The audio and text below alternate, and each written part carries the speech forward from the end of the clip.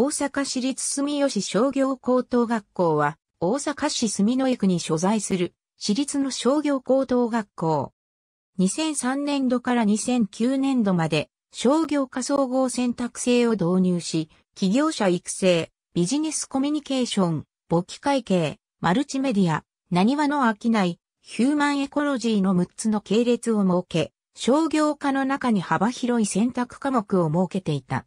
2年次以降各系列に分かれて学習していた。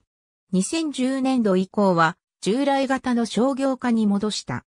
改変の背景には大阪市が計画している広大連携での7年一貫教育を見据えた新商業高校設置構想がある。新商業高校構想を受け、住吉商業高校では従来型の資格習得、技術習得を目指す実業教育を行い地域の商業人育成を図る地域に根ざす実業学校として新商業高校とは異なる方向での特色化を図ることにした。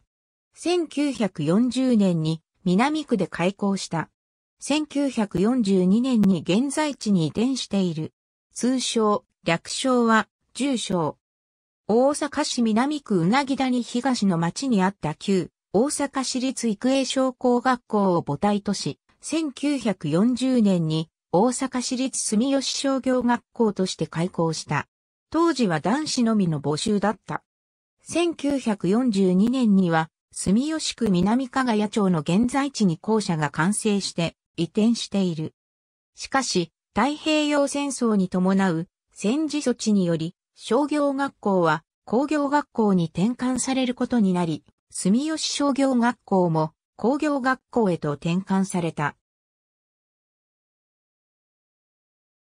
一方で、男子商業学校の転換により、商業学校の不足分を女子商業学校の増設で賄う策が取られた。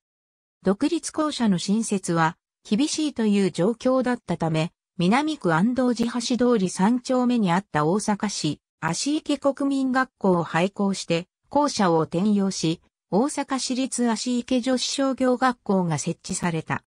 学生改革により、大阪市立住吉商業高等学校となり、南区へ移転して、大阪市立足池商業高等学校の校舎に同居する形で男女共学を実施した。校名は当時、大阪市立住吉足池商業高等学校と並称することもあった。住吉区の校舎は新生大阪市立住吉第二中学校の仮校舎に転用された。1950年には足池商業高等学校を正式に合併し、1952年には現在地に校舎を復帰した。